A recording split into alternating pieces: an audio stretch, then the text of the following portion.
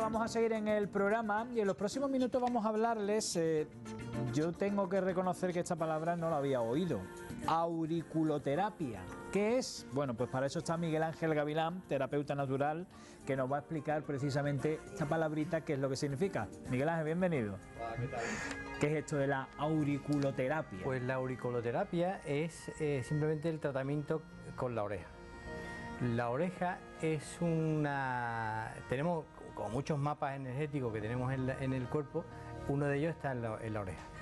Yo voy a hablar eh, de la auriculoterapia y ya de hecho mm, un poquitín, ahora cuando podamos vamos a poner un- una foto de, de lo que es la oreja y dónde están cada órgano reflejado en la oreja. ¿no? Entonces, eh, esta auriculoterapia es de la escuela de Noyer, eh, un eh, profesor, doctor eh, francés, que fue el primero porque la auriculoterapia, eh, el aurículo, es, eh, es- viene de, la, de China, de la de medicina china, de hace 5.000 años. Pero Noyer eh, fue el primero, eh, la primera persona que hizo cartografía de, de lo- de la oreja. Ajá. Entonces se va a ver, no sé si ahora cuando Ahora ahí, está, ver, ahí está, ahí tenemos, Ajá. ahí tenemos. Bueno, pues Cuéntanos ahora. esa oreja, si veis, eh, por ejemplo, la figura de abajo de la izquierda, Sí. ves como si fuera un niño boca abajo, ¿no? Sí. Pues así está la oreja, o sea, la cabeza, todo lo que se relaciona con la cabeza está, está en la parte de abajo de la oreja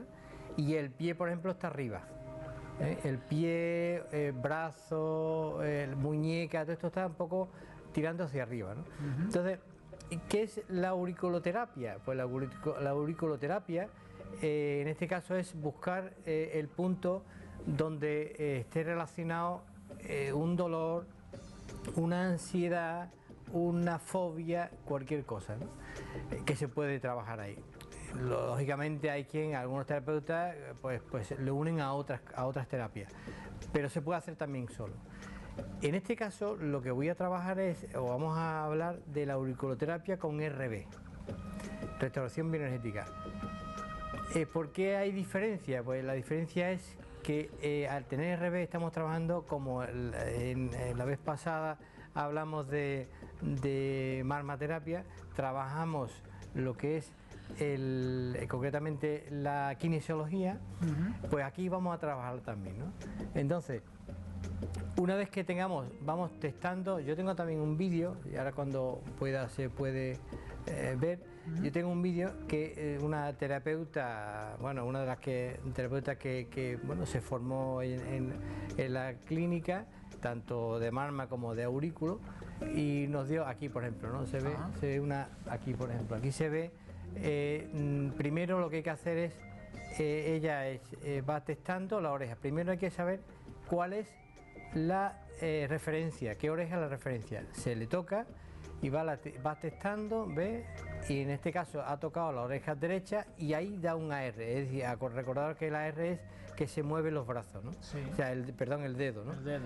Y a partir de ahí van tocando varias zonas, en este caso ella, ella va directamente con el punzón, que, que ahora luego lo veremos, eh, va a ir testando cada órgano. Entonces el que le dé la AR, en este caso ya le ha dado, eh, ya sabe directamente que le ha dado, pues ahí empieza a, manejar el, tipo. También se quiere asegurar y va a, a testar otros puntos. En este caso ahí no da y decir, bueno, pues el que anteriormente eh, dio es el, el- el correcto. ¿no? Entonces una vez que tenga ese eh, punto correcto, ah, tenemos que averiguar cuál es, si es yin o yang, o si oro plata, en fin, hay, eh, o rojo negro, en fin, eh, cada uno le, da, por ejemplo, ¿ves? ahí va testando, esta es la zona central del, organismo, entonces eh, a partir de ahí el que le dé, el que tiene que, tiene que trabajar. Entonces, ¿qué, qué hacemos con esto ahora? Una vez que ya tiene el testaje, que hay creo que, si no recuerdo mal, eso, eso fue el que le dio, ¿vale? En la zona, la zona concretamente de, de poco de, de ansiedad esta y tal. Ahí, bueno, ahí en la parte de abajo incluso hay parte anestésica, Parte este parte anestésica, así que se puede reducir el dolor.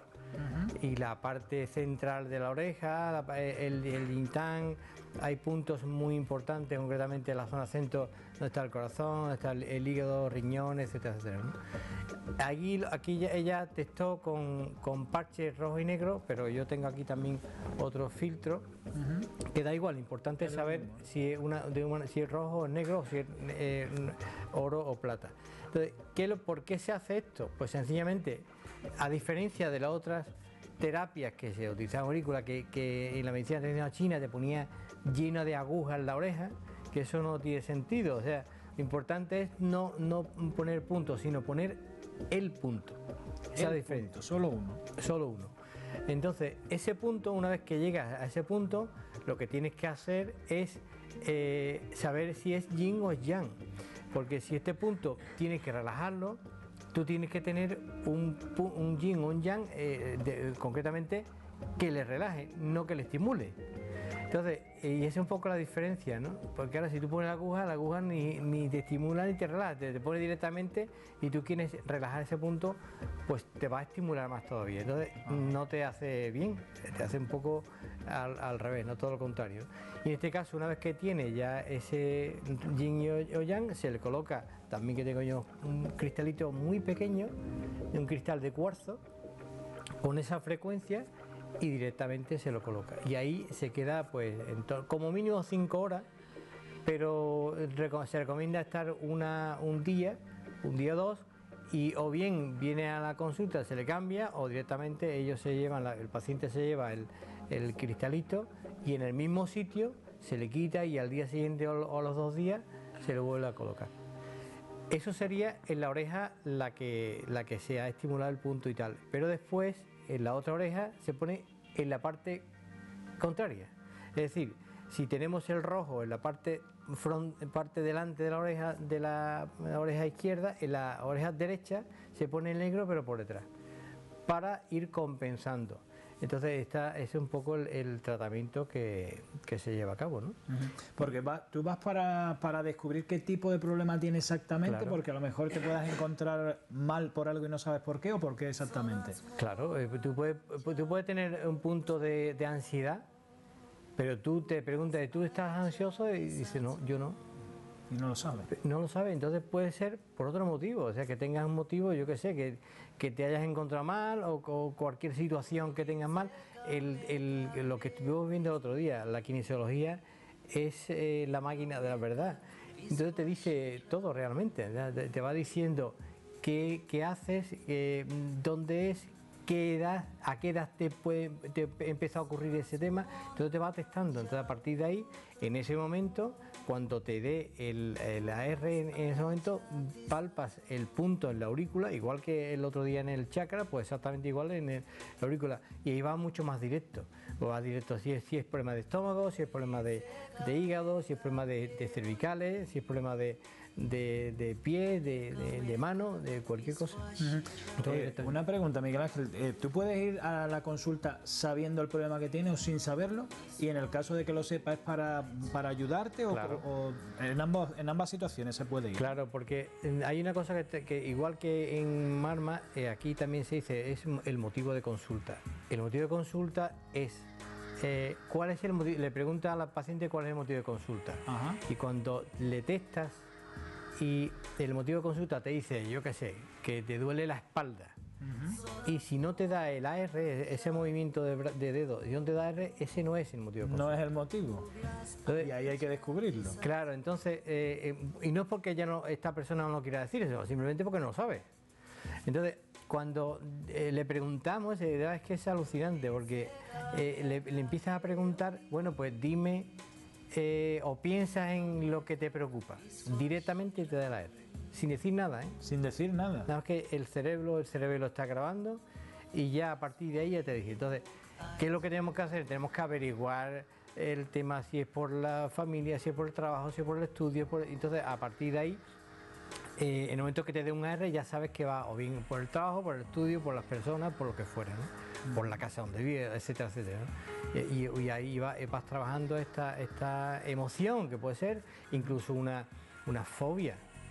Ahí la fobia se puede tratar también, ¿no? Entonces, eh, bueno, te ha llegado la fobia, pues directamente al punto cuando ha llegado este momento oportuno. De hecho, incluso el paciente se pone un poco, como la otra vez, como el marmate igual, ¿no? Un poco alterado, un poco nervioso, e incluso se le cambia la cara. El paciente no se da cuenta, pero ya ha llegado. En ese momento ya ha llegado al momento oportuno de decir, bueno, a partir, yo he tenido este problema en ese momento y ha sido pues, hace cinco años, o hace un año, o hace tres meses, ¿no?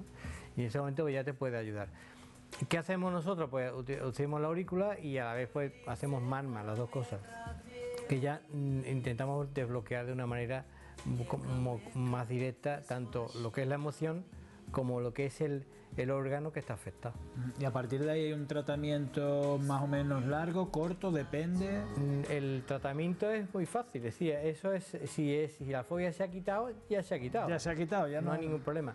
Entonces hay otros dolores, pues a- a eso se puede reducir. Ya depende si tiene una, eh, yo qué sé, una artritis, artrosis y tal, es es más complicada, pues sí que cuesta más trabajo. O se le reduce, no totalmente, pero se le reduce. Pero si una lumbalgia aguda, por ejemplo, eso y si y se- y sabemos el motivo, eso se quita y se quitó para toda la vida. Al poco tiempo volverá otra vez para, pero, pero no. Eh, has traído, lo vamos a mostrar rápidamente, Miguel Ángel, eh, para saber. Ese es el punzón que decía Este- este es el anteriormente. punzón. Entonces, no sé si verá. Sí, ahora se ve, no te Aquí, preocupes. bueno, pues este es el punzón eh, y este- aquí tenemos una especie de muelle. Ajá, y ahí es cuando. Y aquí, bueno, lo que pulsamos en la oreja y le damos, y entonces le, le damos y, y testamos. Igual. Y después lo Y que después, traes. est- estos son los filtros, filtro que es positivo o negativo, se, se coloca en la oreja, igual que hizo la terapeuta Sí, sí. eh, el- en, el- en los, parches, pues igual. Esto se pone un filtro, se coloca si es negativo, negativo o si es positivo. Ajá. ¿vale? Y este pues el, este es el, el cristalito, no sé si se verá, pues es, es, mic- es, es Mm, Pequeñísimo. ¿eh? pequeñísimo, no sé si se verá. Déjalo ahora ahí. No sé si Uy, qué verá. chiquitito. No lo muevas. Hombre, cuesta. Pero ahí están intentando. Ahí, Ahí se ve. este- Es- este ese es el cristal. cristalito. Ese cristal es el que se coloca en, en la oreja. Qué barbaridad. Y bueno, ya, de hecho, yo lo he tocado, ya no sirve. Ajá.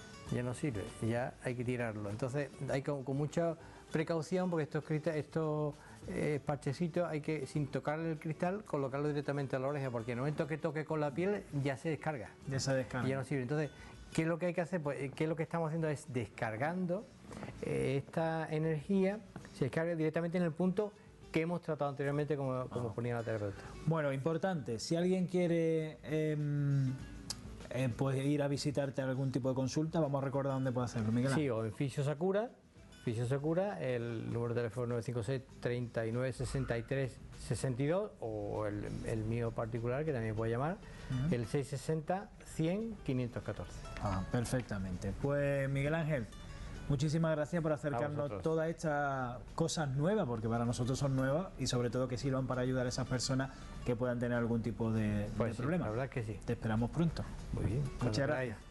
Nos marchamos a publicidad y a vuelta seguimos. Hasta ahora.